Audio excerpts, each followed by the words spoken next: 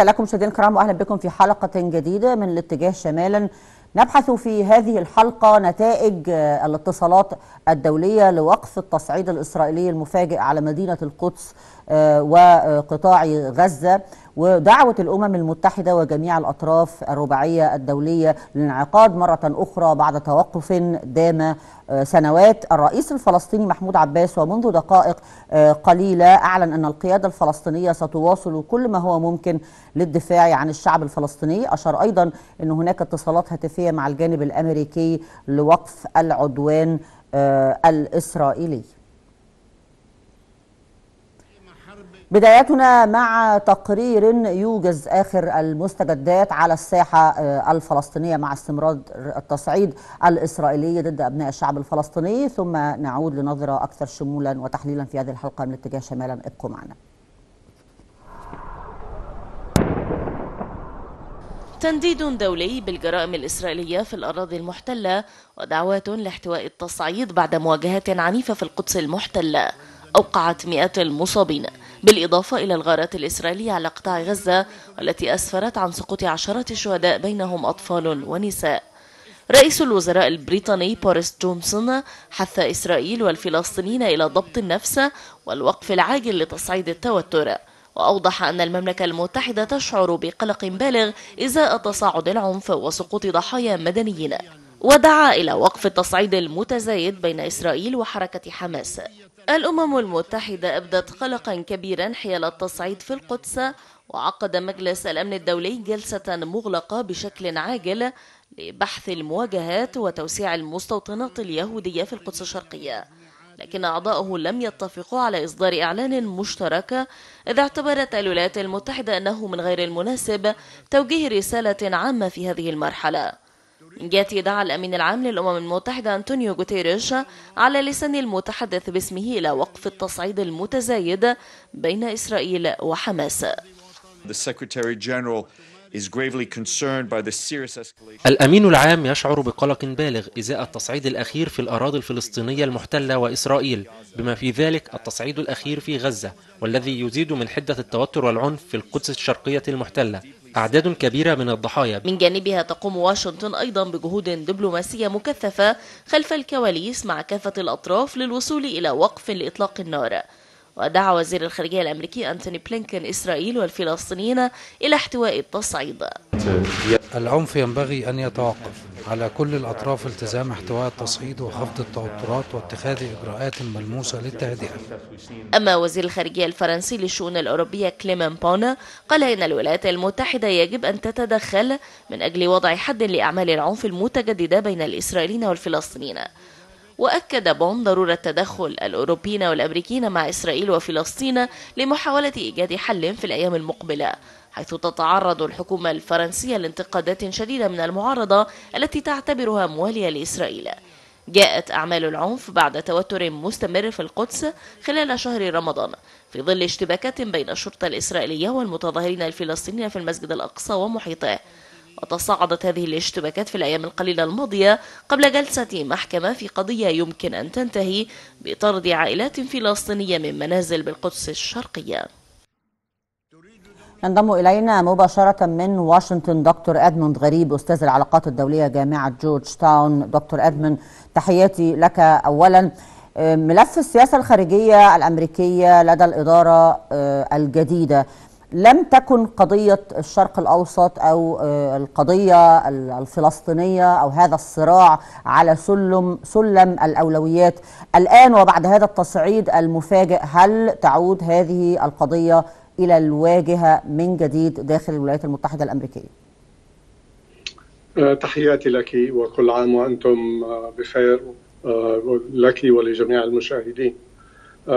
بدون شك أننا نراه الآن هو أن الأحداث الأخيرة قد فرضت نفسها على على المجتمع الدولي إلى حد ما وليس فقط على الولايات المتحدة وعلى الولايات المتحدة نفسها حيث اضطرت الولايات المتحدة لمناقشة موضوع الصراع الفلسطيني الإسرائيلي. وأيضا أظهرت بأن هناك لا يز... على الرغم من ما سمعنا خلال عهد الرئيس ترامب عن صفقة السلام والقرارات التي اتخذها الرئيس ترامب في ذلك الوقت بالاعتراف بالقدس عاصمة لإسرائيل ونقل السفارة إلى القدس والاعتراف بضم الجولان إلى إسرائيل إلا أن هذه لم فعلا لم تحقق الكثير من التقدم باتجاه السلام لا بل أنها ربما قد ساهمت في تأجيج الوضع وزيادة حدة الأزمات خاصة أنها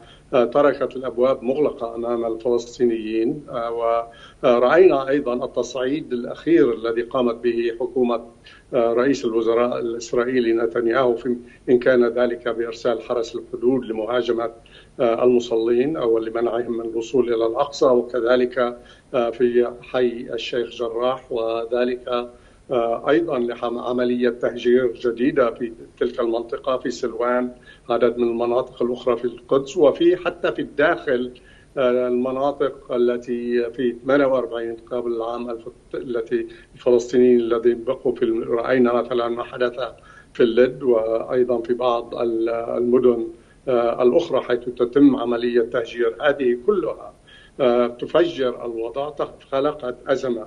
وربما تساعد رئيس الوزراء الإسرائيلي على الاحتفاظ بمنصبه ولكن هي فعلا أعادت من جديد الاهتمام العالمي.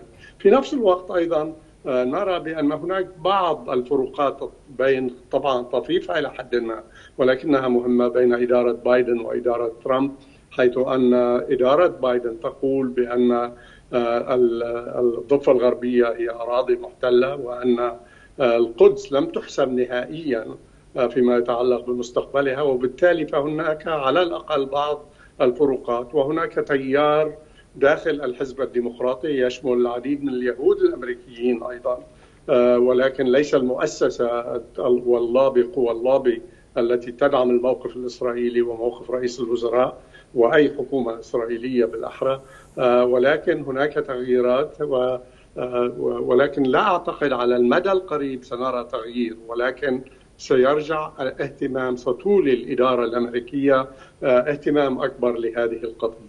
نعم في التفاصيل يعني تغيرت أو تغير المشهد في علاقة الولايات المتحدة الأمريكية بهذا بهذه بهذا الصراع في عهد الرئيس دونالد ترامب بعد نقل السفارة واعتبرت أو اعتبر الفلسطينيون أن الولايات المتحدة ليست بالوسيط النزيه وطالبوا بخروج الولايات المتحدة من خط التفاوض أو التفاهمات بين الجانبين. اليوم يعلن وزير الخارجية الأمريكي أن مساعد وزير الخارجية للشؤون الإسرائيلية والفلسطينية س يعني ترك أو غادر أو سيغادر واشنطن اليوم متجها إلى المنطقة. أي محددات جديدة يمكن أن تنطلق منها الولايات المتحدة الأمريكية لوقف هذا التصعيد أو الوصول إلى يعني جولات جديدة من المفاوضات.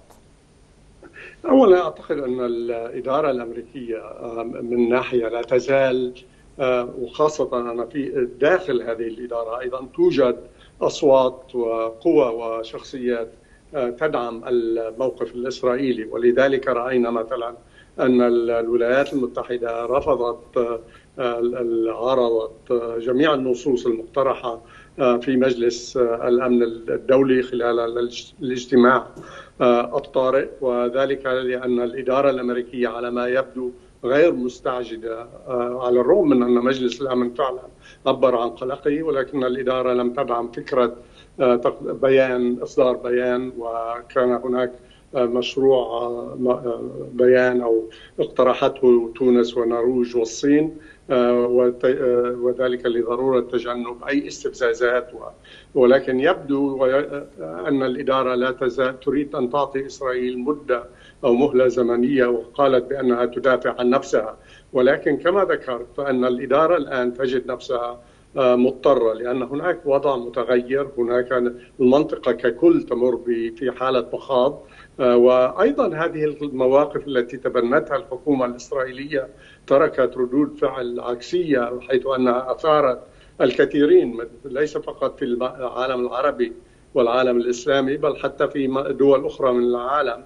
وذلك أن تقريبا 14 دولة في مجلس الأمن كانت تؤيد فكرة إصدار بيان ولكن الولايات المتحدة التي لديها حق الفيتو قادرة على منع ذلك. ولكن حتى الإدارة نفسها أيضا بتصريحاتها الأخيرة بتركيزها على أهمية وقف التصعيد وتخفيف حدة التوتر وحديثها أيضا على أن الضفة الغربية محتلة وبالتالي هذا يعني بأن تعتبر بأن الأراضي المستوطنات هي مناطق احتلال أيضا. وبالتالي هذا تطور على موقف إدارة الرئيس ترامب. ولكن الإدارة أيضا تواجه ضغوط كبيرة من إسرائيل من أصدقاء إسرائيل الذين لديهم نفوذ على الكونغرس ومن بعض الديمقراطيين ومن الجمهوريين القيادات الجمهورية أيضا في الكونغرس. نعم. طبيعة الاتصالات الجارية حاليا بين الإدارة الأمريكية وبين إسرائيل أو رئيس الوزراء الإسرائيلي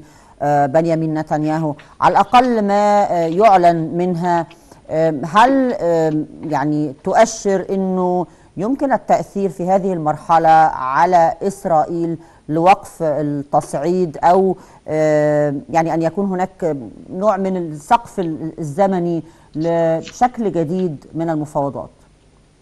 بالضبط أعتقد أنه سيكون هناك نوع من السقف الزمني الذي سيعطى لمحاولة إحياء المفاوضات. ولكن في نفس الوقت أيضا الإدارة يبدو أنها مستعدة لمنح إسرائيل فترة زمنية لاستمرار في عمليات القصف لأنها قالت بأن إسرائيل لا لا تقوم بعملية دفاع عن النفس. ولكن الإدارة مضطرة إلى العودة إلى هذا الملف والتعامل معه.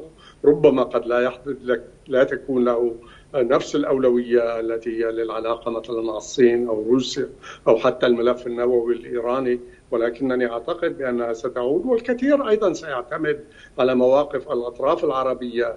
ويبدو أن الدول العربية والجامعة العربية هذه المرة تبنت مواقف أكثر تشددا وأكثر انتقادا في فيما يتعلق بالأحداث الأخيرة. وهذه أيضا قد تساهم وكذلك الأطراف الأوروبية أيضا نرى أن هناك مواقف أكثر صلابة مما كانت عليه.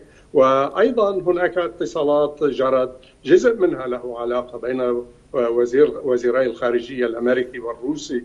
طبعا ناقشت قضايا أخرى ولكن كان من بينها هذه القضية. نعم. أيضا وهذا يظهر بأنه سيكون هناك اهتمام أكبر مما شاهدنا في الماضي. ولكن يعني في, في ظل دعوات حلفاء واشنطن الأوروبيون والقادة الأوروبيون في إنه التعويل على الولايات المتحدة الأمريكية أن تتحرك وتلقي بثقلها في هذا الملف. وأيضا دعوة الأمين العام للأمم المتحدة للرباعية الدولية أن تنعقد من جديد. الحساسية ما بين روسيا وما بين الدول الأوروبية وما بين الولايات المتحدة الأمريكية هل تحول دون انعقاد فاعل هذه المرة للرباعية الدولية من وجهة نظرك؟ لا أعتقد بالنسبة لهذا الموضوع أننا سنرى يعني تأثير سلبي على انعقاد الرباعية أعتقد أن هناك مواقف إلى حد ما فيها شيء من التقارب فيما يتعلق بهذه القضية وبالرغبة في وقف أعمال العنف بالعودة إلى المفاوضات وفي إيجاد حل للنزاع الفلسطيني الإسرائيلي. أعتقد أن هناك على الأقل لن تكون هناك معارضة أوروبية أو حتى إلى حد ما أمريكية. ولكن في نفس الوقت لا أعتقد بأننا سنرى يعني تغييرات جذرية في الموقف الأمريكي. وإن كانت هناك على الأقل بداية تغييرات وهناك تباين أيضا بين موقفي إدارة ترامب وإدارة بايدن. الأمر الذي سيعني بأننا قد نرى تحرك أمريكي أكثر فعالية وباتجاه أكثر ولكن أيضا الأحداث على الأرض التطورات في المنطقة كل هذه أيضا سيكون لها أثرها بالإضافة إلى مواقف الدول الأوروبية والدول الأخرى مثل روسيا والصين. هناك موقف دولي. يمكن القول بأن معظم الغالبية الساحقة من دول العالم تريد حل عادل عودة إلى الثوابت تريد أن يكون هناك يعني تصحيح للمسار الذي تبنته إدارة ترامب. ولكن طبعا إلى أي مدى ستكون إدارة بايدن قادرة على ذلك؟ وهي في نفس الوقت تواجه تحديات كبيرة. أعتقد أن هذا سيبقى السؤال الرئيسي وليس واضحا بأن هناك جواب حتى الآن ولكن أعتقد أننا سنرى تحركات أمريكية وسنرى اتصالات مكثفة اولا لوقف عمليات العنف بعد فترة قصيرة وربما لإحياء المفاوضات. نعم أشكرك. شكرا جزيلا دكتور أدموند غريب أستاذ العلاقات الدولية بجامعة جورج تاون كنت معنا مباشرة من واشنطن العاصمة الأمريكية. وفيما يلي أستعرض مع حضراتكم ردود الأفعال الرسمية للدول بشكل عام في ألمانيا أكدت أكدت برلين حق إسرائيل الدفاع عن النفس في وجه هجمات حركة حماس الفلسطينية في إطار الدفاع المشروع عن النفس. ورأى المتحدث باسم الحكومة الألمانية شتيفان زيبعت أن الهدف من هذه الهجمات هو القتل بشكل عشوائي وتعسفي. أما في روسيا فدعا الرئيس الروسي فلاديمير بوتين إلى خفض التصعيد خلال محادثة مع نظيره التركي رجب طيب أردوغان. وبحسب الكرملين أعرب الرئيسان عن قلقهما العميق إزاء استمرار القتال وزيادة عدد القتلى والجرحى. المدعية العامة للمحكمة الجنائية الدولية فاتو بن سودا في تغريدة قالت ألاحظ بقلق بالغ تصاعد العنف في الضفة الغربية بما فيها القدس الشرقية وكذلك ما في غزة وحولها معبرة عن قلقها من احتمال ارتكاب جرائم بموجب نظام روما المؤسس للمحكمة. وينضم إلينا من جديد من واشنطن الدكتور أشرف سنجر أستاذ السياسات الدولية. دكتور أشرف تحياتي لك. نبحث إذا في مدى قابلية واستعداد وإرادة الولايات المتحدة الأمريكية هذه المرة في وقف التصعيد الإسرائيلي المستمر. مبعوث الولايات المتحدة الذي سيتوجه إلى المنطقة كيف يمكن أن ينطلق ومدى تأثيره على الإدارة الإسرائيلية لوقف التصعيد؟ خطوة التصعيد خطوة كانت غير متوقعة من واشنطن. بأن يتم هذا التصعيد في الضفة الغربية وفي فلسطين بشكل عام. إرسال المبعوث الأمريكي هو يعني رد فعل سريع لجذب انتباه واشنطن للقضية الفلسطينية مرة أخرى بل وكل قضايا منطقة الشرق الأوسط باعتبار أن جو بايدن في إدارته للسياسة الخارجية الأمريكية يهتم بمناطق معينة وأصبح الشرق الأوسط بقضاياه هي قديمة ولا تهم واشنطن في اهتماماتها الجديدة التي تتعلق بمحاصره الصين روسيا وتهديد الهيمنه الأمريكية في مناطق كبيرة من العالم. ما حدث من الأسبوع الماضي والتصعيد الغير مبرر من الجانب الإسرائيلي دفع بأن دفع واشنطن بأنها تنقذ المنطقة من بؤر نيرانية تشتعل مرة أخرى رغم أن دونالد ترامب كيل إلى جو بايدن الكثير بعدم قدرته وأنه فشل ودليله على ذلك طبعا الرئيس ترامب السابق بأن العنف الذي حدث في في فلسطين كان أمر بيدل على فشل الرئيس بايدن في السياسة الخارجية، هذا أمر أنا أظن أنه مغالى فيه من الرئيس السابق. ولكن الرئيس جو بايدن يعني فوجئ كما فوجئت واشنطن بهذا التصعيد والذي كان يجب أن يحسب جيدا على أن حالة الغضب الكبيرة وعدم الرضا الكبيرة التي سكنت نفوس الفلسطينيين من وسيط غير عادل في إدارة الشأن الفلسطيني الإسرائيلي دفع بهذا بهذا الغضب الشديد مرة أخرى.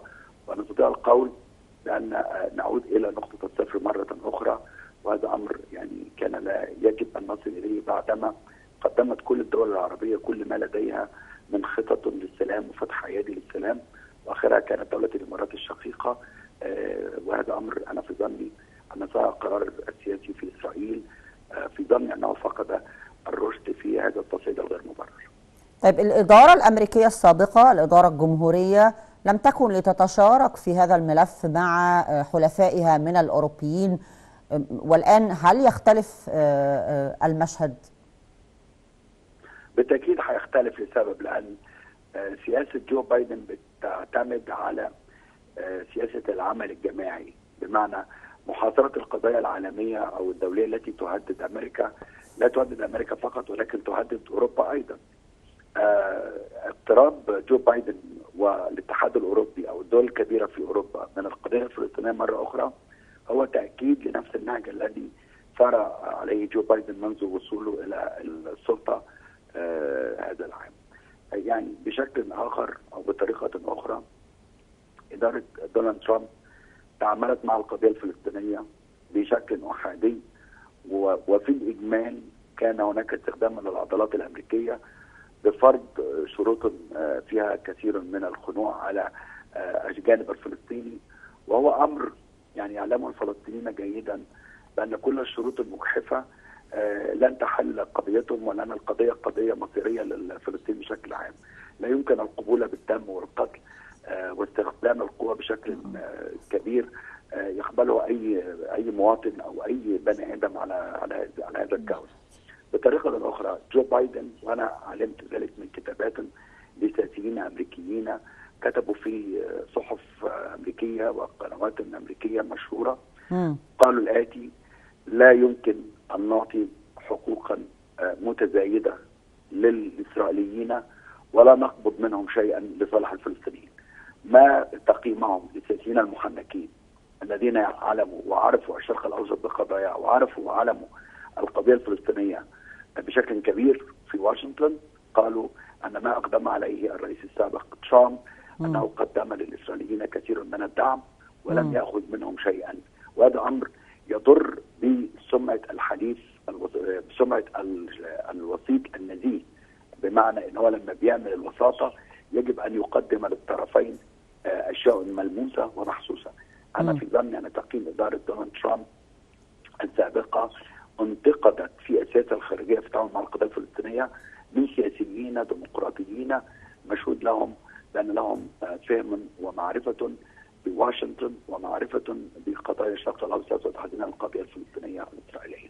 فأنا في أن الاضطراب الأمريكي لن يكون داعما للجانب الإسرائيلي في صالح أن يضر بالجانب الفلسطيني لأن هذا يلغي دور الولايات المتحدة في المنطقة العربية ومنطقة الشرق الأوسط.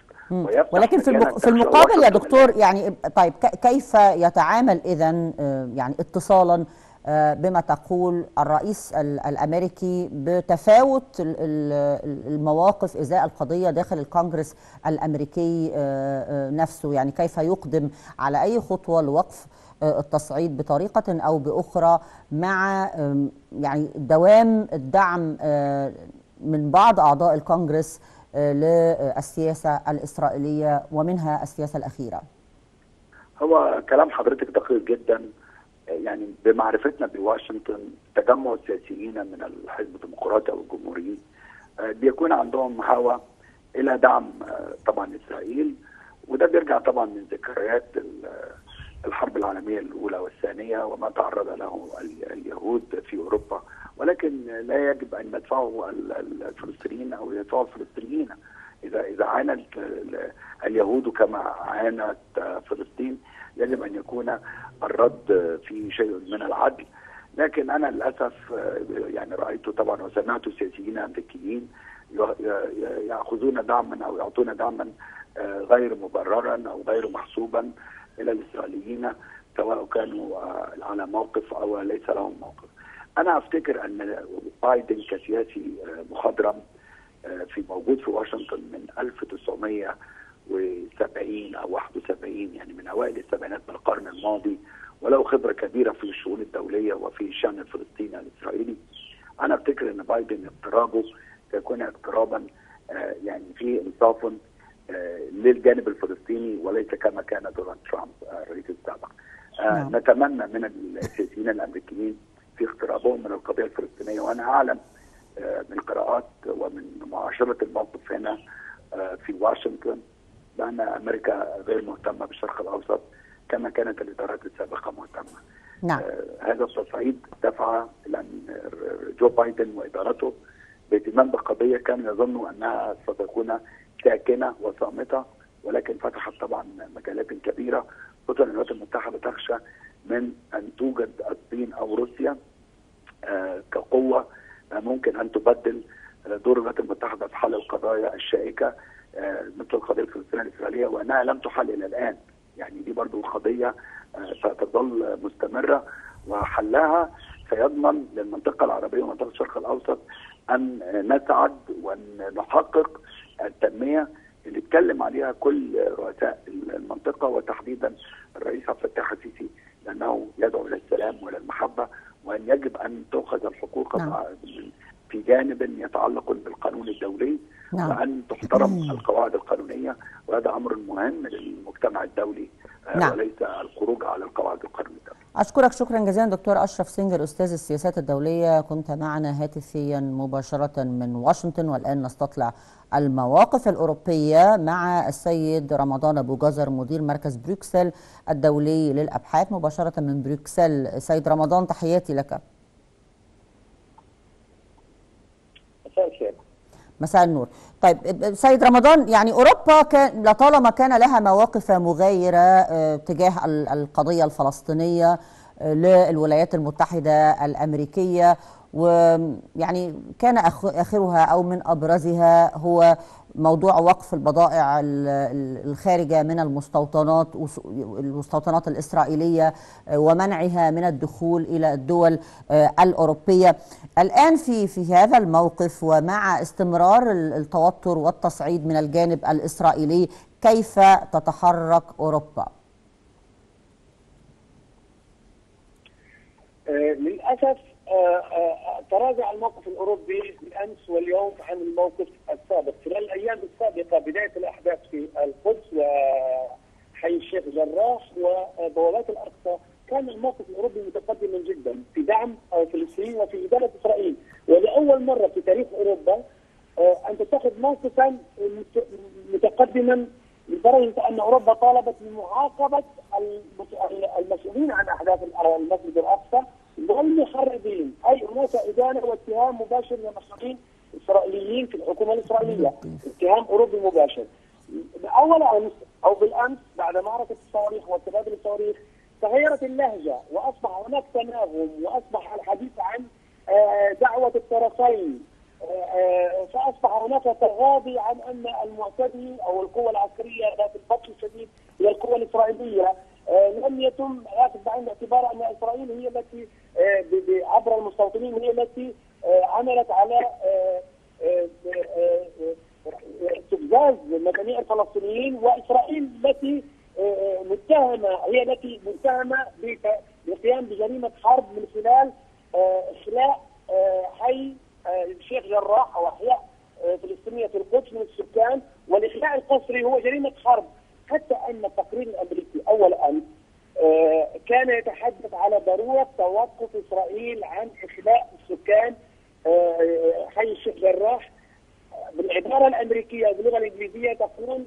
آه، الذين يسكنون منذ اجيال وهذه اللغة تعني سكان القدس الاصليين وهذا يعني لاول مره هناك قرار من الخارجيه الامريكيه أو تصريح أو حتى لو كان بالخطا كان بالامكان البناء عليه. المواقف الاوروبيه لا زالت تدعو إلى آه، ضبط النفس آه، العوده المفاوضات حل الدولتين ولكن هذا كلام مرسل في وقت مم. الحروب لا يفيد الشعب الفلسطيني الذي يقدم عشرات يعني عشرات الشهداء يوميا وهناك آلة بطش عسكرية إسرائيلية تمارس جرائم حرب من خلال آه، آه، عملية مسح البيوت والعمارات وال- والأبراج القدس هو عبارة عن حي كامل تقوم إسرائيل بعقاب جماعي لكل الفلسطينيين وفي نفس. الوقت شاهدنا أن هناك هبة شعبية كبيرة. حتى في مدن الداخل الفلسطيني أراضي 48 آه، كل أحياء القدس آه، معظم مدن الضفة الغربية وتتفاعل آه، قطاع غزة كالعادة كان متوقع ولم يكن بالإمكان أن تبقى غزة مكتوبة الأيدي عندما تبقى فيها القدس.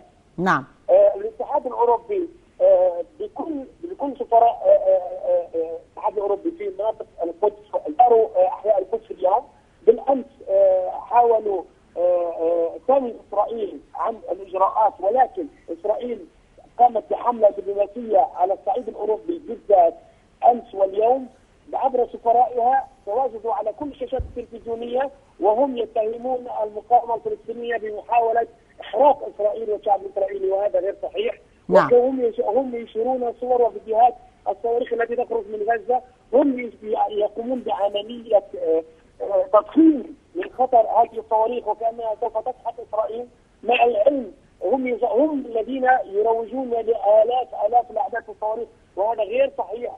آه، إسرائيل تريد أن تخفي الحقائق أو تغير مجرى الأحداث. نعم. التعاطف الأوروبي والدعم الذي شاهده الفلسطينيون. الأسبوع الماضي بدأ يتراجع في الخطاب الإعلامي والسياسي اليوم. نعم أشكرك شكرا جزيلا. السيد رمضان أبو جزر مدير مركز بروكسل الدولي للأبحاث. كنت معنا مباشرة من العاصمة البلجيكية وأتحول إلى روسيا والمواقف آه، الروسية. روسيا كعضو آه، رئيسي في الرباعية آه، الدولية. دكتور عمار قناة أستاذ العلوم السياسية معنا مباشرة من موسكو. دكتور عمار تحياتي لك أولا.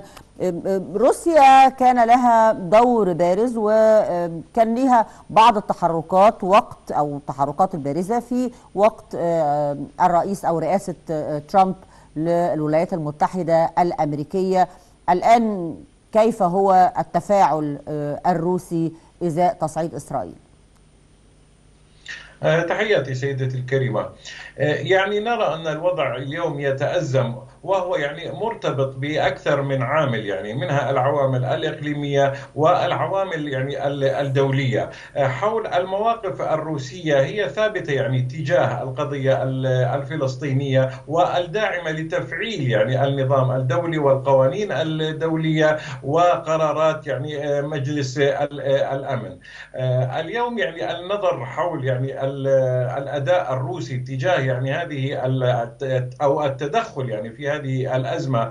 آه، هو يعني مرتبط بحساسية ما وهي عدم وضوح يعني الجانب الأمريكي من هذه القضية. آه، لاحظنا أن هناك يعني تبادلت أو تغيرت المواقف ما بين يعني إدارة أوباما مع إدارة ترامب يعني تجاه القضية الفلسطينية ال- الإسرائيلية. واليوم من جهة أخرى نرى يعني التحسس أو التصعيد يعني ما بين الولايات المتحدة آه، وروسيا. آه، فلذلك يعني وأيضا يعني هناك عامل آخر وهو يعني التواجد الروسي في منطقة الشرق الأوسط وممكن القول يعني بالحدود مع آه، يعني الكيان ال- الإسرائيلي. فهذه يعني الأمور كلها ممكن أن تلعب يعني نوعا ما من يعني هل يعني هل ترتبط طيب يعني هل ترتبط علاقة روسيا الحالية وبين بين بالولايات المتحدة الأمريكية بأي تحرك فاعل. يعني أتفهم المواقف ال- الثابتة آه، لروسيا والخاصة بالاعتراف آه، طبعا آه، بالأراضي الفلسطينية على حدود 67 إنما الآن ال- الموقف يتغير. الموقف يتطلب تدخلا مباشرا وليس على غرار السنوات ال- السابقة بالإعلان فقط عن المواقف. ممكن يعني أتوافق معك سيدتي الكريمة ولكن يعني لا ننسى يعني من النظرة الأولى للواقع الذي يجري الآن يعني من هذا التصعيد آه، هناك مآرب انتخابية اولا يعني للنخبة الإسرائيلية ومنها يعني آه، نتنياهو. هناك تخوف إسرائيلي يعني من التقارب الجزئي الإيراني ال- الأمريكي آه، أيضا. وممكن القول انها يعني محاولات لإفشال هذه العملية بالخروج إلى يعني ازمه إقليمية واسعة ممكن أن تمتد إلى إلى حرب. هذه الأمور يعني روسيا تعيها يعني تماما في هذه المرحلة بالذات، ولكن يعني أيضا هناك نقطة إيجابية أن تربط روسيا مع إسرائيل جزئيا بعلاقة جيدة ومع أيضا يعني الفصائل ال- يعني الفلسطينية أيضا، ولكن يعني الأطراف التقليديين الذين يعني يدخلون على هذه يعني الأزمات يعني عهدناها يعني كالدوله المصرية ممكن القول يعني الطرف ال- القطري. فبذلك يعني اليوم رأينا من خلال يعني نداء كانت يعني لافروف إلى التهدئة بشكل عام. ولكن لغاية اليوم يعني لا توجد هناك دعوات رسمية للتدخل الروسي بناء على التعنت ال- الإسرائيلي وذلك لقضاء يعني المآرب أو المصالح الانتخابية الآنية لنتنياهو في البقاء يعني في الحكم. طيب ناشدت آه، الأمم المتحدة على لسان أنطونيو جوتاريش الأمين العام آه، لها الأطراف ال- ال- الدولية الفاعلة أعضاء الرباعية الدولية باتخاذ مواقف يعني ملموسة وبانعقاد الرباعية الدولية من جديد بعد توقف دام طويلا ودام لسنوات طويلة. ويعني ضمن الأعضاء الرباعية هي روسيا. كيف تتفاعل روسيا؟ هل تقبل دعوة الأمم المتحدة أو مناشدة الأمم المتحدة في انعقاد طارئ للرباعية الدولية؟ مما لا شك فيه يعني وروسيا هي من التي دعت يعني إلى تفعيل هذه يعني الرباعية. وباعتقاد يعني الرباعية الدولية هي اليوم يعني المنطقة في أمس الحاجة لها. وذلك يعني بعد فشل المشاريع الأمريكية وخاصة يعني مشروع صفقة القرن يعني والتمادي يعني في في الدعم يعني الأمريكي للكيان الصهيوني. هذه يعني هذه المسألة أولا. وثانيا اليوم يعني لاحظنا أن هناك كان طرحا جديدا من قبل يعني وزير الخارجية لافروف بهذا الخصوص أنه يمكن توسيع يعني هذه الرباعية إلى الدول يعني العربية المعنية والتي يعني شاركت في المرحلة الأخيرة بعمليات يعني السلام أو عمليات التطبيع مع إسرائيل. روسيا مع يعني الحركات أو التحركات الإيجابية لإيجاد يعني حل سلمي. ولكن يعني الحل الوحيد الذي تراه اليوم يعني الخارجية الروسية والإدارة الروسية هو حل الدولتين يعني وتفعيل النظام يعني الدولي من جديد وتمرير يعني قرارات هيئة الأمم بهذا الخصوص. ولكن يعني للأسف وبعد يعني معاهدات أوسلو رأينا أن الصراع يعني العربي الإسرائيلي انتقل من العربي الإسرائيلي إلى الفلسطيني الإسرائيلي وكان الخاسر الأكثر الأكبر هو الطرف الفلسطيني. فاليوم يعني المواقف الدولية هي متباينة ولكن الموقف الروسي لم يتغير تجاه هذه القضية وهو مع حل الدولتين. نعم. ناهيك عن المشاريع يعني الأمريكية أو المقترحات الأخرى. فلذلك يعني لا أرى حلا بدون التدخل الدولي اليوم يعني لوقف يعني هذا النزاع والذي نراه يتفاقم يعني و يعني ومسألة جديدة ظهرت وهي يعني داخل الخط الأخضر مما يشكل يعني في المرحلة القادمة أزمات ستكون يعني داخلية وإقليمية. نعم. أشكرك. شكرا جزيلا دكتور عمار. قناة أستاذ العلوم السياسية. كنت معنا مباشرة من موسكو العاصمة الروسية. الشكر دائما موصول لحضراتكم لمتابعة حلقات الاتجاه شمالا أما أنا ألتقي بكم الأسبوع القادم في ذات الموعد. إلى اللقاء.